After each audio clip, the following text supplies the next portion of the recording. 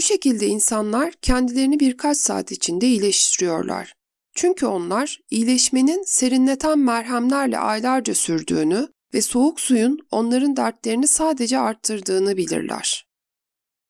Dipnot Yanmaların soğuk suyla tedavi edilmesinin büyük zararlarını bir tek Hunter değil, Von Hilden de temin ediyor ve diyor ki soğuk kompresler yanmalarda çok zararlıdır ve en kötü durumlara neden olur. İltihaplanma, irinleşme hatta bazen kangren yapar. Tecrübeli bir çiftçi başka zamanda içki içmezse bile fazla kızgın güneşin altında kaldıktan sonra hiçbir zaman soğuk su içmez. Bunun zararlarını bilir. Onun yerine birazcık sıcaklık yapan, örneğin konyak gibi ateş yapan bir sıvıyı içer. Gerçeğin hocası olan bu tecrübe, onu bu homeopatik tedavinin avantaj ve yararlı olduğuna ikna etmiştir. Hissettiği ateş, yorgunluk hissiyle beraber çabuk geçecektir. Dipnot Zimmerman, sıcak ülkelerdeki insanların aynı şekilde davrandığını, sıcaklık çarptığında az miktarda alkol aldığını ve bunu büyük bir başarıyla yaptığını öğretiyor. Hatta zaman zaman ilaçların analog hastalık bulguları ortaya çıkarabilen güçleri sayesinde analog hastalıkları iyileştireceğini sezen hekimler vardı.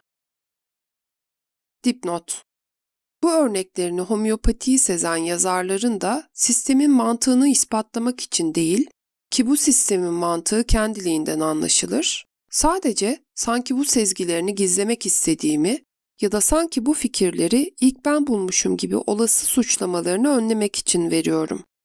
Başka hekimler de homeopati metodunun gerçekliğini hissetmiş ve yazmıştır. Örneğin Bolduk, ışkının ishal kesici gücünün sebebinin pürgatif etkilerinin olduğunu yazmıştır.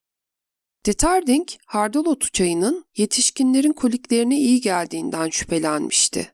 Sağlıklı insanda koliklere neden olan analog etkisine bağlı olarak. Bertolon, elektrisitenin kendi başına neden olan ağrıyı ona benzer hastalıklarda yok ettiğini itiraf ediyor. Thorey, pozitif elektriğin aslında nabzını hızlandırdığını ama nabzını bir hastalıkta fazla hızlı olduğunda yavaşlattığını görmüştür. Von Stoerk şunu düşünmüş. Stromonium zihni mahvederse ve sağlıklı bir insanı delirtiyorsa o zaman acaba deliren hastalarda onların aklının yerine gelmesi için onu iyileştirmek için kullansak olmaz mı? En net olarak Danimarkalı askeri bir hekim Stahl bu konuda inandıklarını ifade etmiştir ve şöyle diyor. Tıpta geçerli olan zıt etki yapan ilaçlar kullanılmalı kuralı tamamen yanlış ve zararlıdır.